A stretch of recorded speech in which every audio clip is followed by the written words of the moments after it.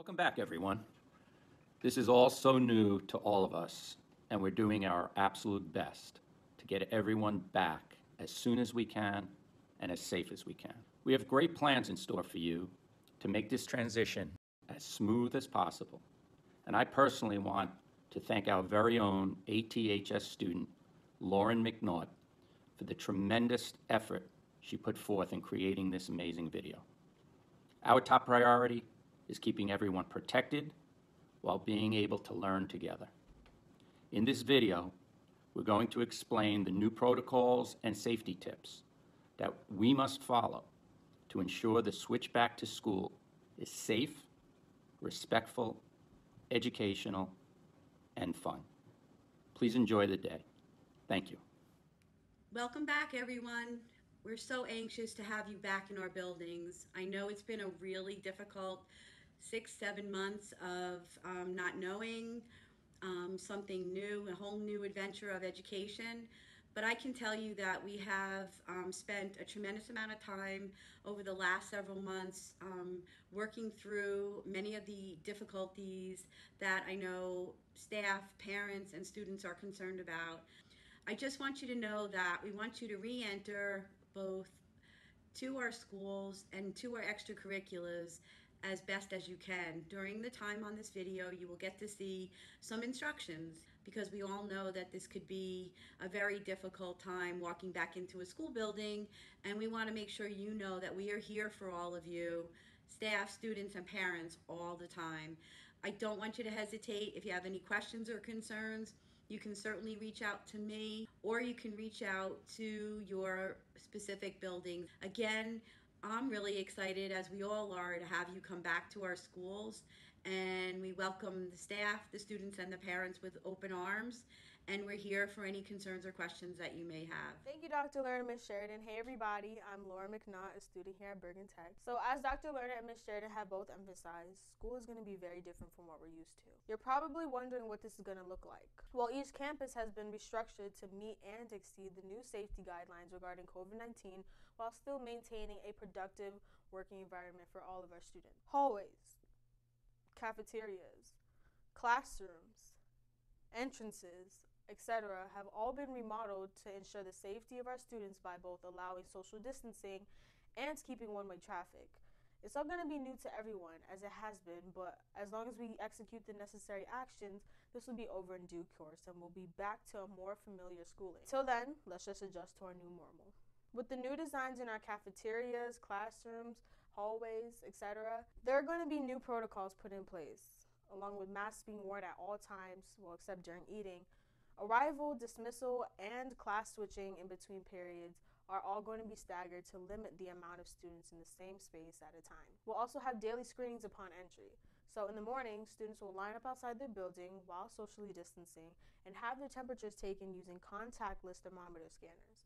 Students with fevers or any suspected symptoms will immediately be isolated and prepared to be sent home. Also upon entry, students will have to have a self-assessment document filled out on PowerSchool. Yes, every day, just to keep track of the things that you've done or the people you've been in contact with. It's just to lower the risk of transmission if there is any virus present among us. We'll also begin to integrate sanitizing and disinfecting in between periods into our schedules. Bathrooms will only allow one person in at a time. With that, washing stations and hand sanitizer dispensers are going to be everywhere. You'll always have the opportunity to quickly clean your hands if need be. Understandably, with all of this, it can be stressful. As a student, this is an experience that we've never had before. But thankfully, we have the support from our administration, guidance counselors, principals, teachers, etc., to guide us through these changes. Their priority is to ensure that we can continue to learn in a safe, productive, and friendly environment. Now, while understanding the new changes that are going to be put in place is important, it's also vital to learn about the virus itself and what to look for. Here now with us is Dr. Kevin McNaught to speak with us about COVID 19. Hi, Bergen Tech. I am Dr. Kevin McNaught, and I'm here to talk to you about the symptoms of COVID 19. Over the past 10 to 11 months, we have learned a great deal about the illness and have a pretty good understanding of how the symptoms develop and how they appear in different individuals. COVID 19 is classified as a respiratory illness, which means that the coronavirus primarily attacks the respiratory system. However, the virus also impacts on other parts of the body, leading to a wide variety of symptoms. So let's take a look at some of the symptoms of COVID 19. Difficulty breathing or shortness of breath. Individuals who develop COVID 19 often describe this feeling as if someone is sitting on their chest or there is pressure on their chest making it extremely difficult to inhale and or exhale. Fever and or chills. Individuals with COVID-19 often develop a high fever which range from 100.4 degrees Fahrenheit to higher temperatures. What is interesting about fever or chills is that they can vary throughout the course of the day and night, such that there are times when the fever will subside, and then there are times when this fever will increase to very high levels. And that is why it is going to be important for us to be able to take temperatures to see if people have COVID 19 symptoms. Coughing, sneezing, congestion, a runny nose, uh, these are features that are often seen um, in other respiratory illnesses, and they certainly do occur in COVID 19 patients. Uh, individuals with COVID 19 also develop sore throat, loss of taste, and loss of smell. And in fact, these symptoms often occur very early in the disease, and so they can serve as a sign of more profound symptoms that will eventually develop in people who have COVID 19. Body aches and pain that can be very discomforting. Fatigue, restlessness are also symptoms. In addition, some individuals also develop very severe headaches that can be profoundly disabling. Diarrhea, nausea, vomiting. Although these symptoms are major features of COVID 19, there are others, and in the months ahead, we are likely to learn more about the presentation of COVID 19 in people who have the illness. There are several important things to note. These symptoms are not unique to COVID 19 as they occur in other illnesses, such as the flu and the common cold. This is why it is often important to have a test to confirm the presence of the virus within the nasal passages of people to make a definitive determination. Second, the vast majority, approximately 80% of people who get the virus will not show symptoms or will only have very mild and inconsequential symptoms. Third, not all symptoms occur in every individual. Each person will develop a different group or a different subset of these symptoms. Fourth, the order in which these symptoms develop and how long they last will vary from person to person. And this will make it extremely difficult to predict how long or how severe the illness will be in different individuals. Fifth and finally, most people who get COVID 19 will recover. Only a very small percentage of people will get very ill and unfortunately will die from the disease. If you exhibit any of these symptoms, you should talk to your parents, a school nurse, or your doctor so that they can take a closer look to see what is going on. In most cases, it will not be COVID 19 but something else perhaps a cold or a flu. And this is quite likely, especially during this time of the year. So there is no need to panic or feel scared. Just be aware and continue to exercise social distancing, wash your hands frequently, and follow all the guidelines set forth by your school and by the CDC to help protect yourself and others from the possibility of developing COVID 19. So thank you for listening. Take care of yourself, take care of each other and have a wonderful school year. Coming up now are some tips from your fellow classmates on how to help protect yourself from coronavirus. Hi, Bergen Tech. As we move into the new school year, we're going to have to adapt to a new normal. The following are some very important tips on how to stay safe. Always social distance. Maintain at least six feet between you and others. There are stickers on the floors if you're unsure of how far to stay apart. You can also approximate six feet, which is about two arms length. Keep clean hands. When you wash your hands with regular soap and water, wash for at least 20 seconds or sing happy birthday twice. If you don't have access to a bathroom or washing station, just use hand sanitizer. Avoid touching your face, especially your eyes, nose, and mouth. Do not remove your mask or face covering besides eating time. Also, be careful not to touch the inside of your mask to avoid contamination. Follow authoritative guidelines such as the CDC, WHO, NIOSH, FDA, etc. Contact trace. Try to remember things that you touched or people you've been in contact with. It's helpful in the event of a suspected case. Stay clear of any crowded areas. It's crucial to social distance at all times. If you suspect something, say something. Let's say you see one of your peers coughing, sneezing, or showing any symptoms Dr. McNaught talked about. You must confidentially report it immediately. Clean and disinfect after use of anything in school. There are supplies all around us, so be sure to use them generously. Make sure to adhere to the regulations regarding the restrooms. Only one person is allowed in there at once. If you aren't feeling well, say something. Even if you doubt you are sick, you never know, so tell an authoritative individual immediately. Do not share anything with others.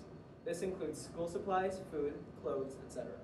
Regularly check your student information card on PowerSchool to make sure it's always updated.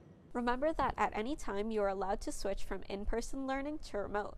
If you feel safer at home, you always have that option. Happy schooling, stay safe. Thank you.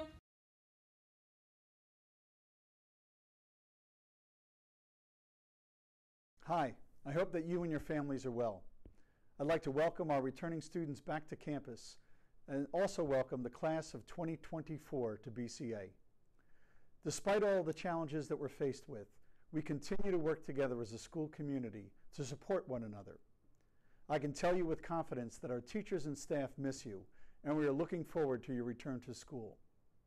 We are working hard to provide a hybrid model for you that will include our best efforts to return to normal and provide electives, research, clubs, and hopefully some virtual assemblies as well.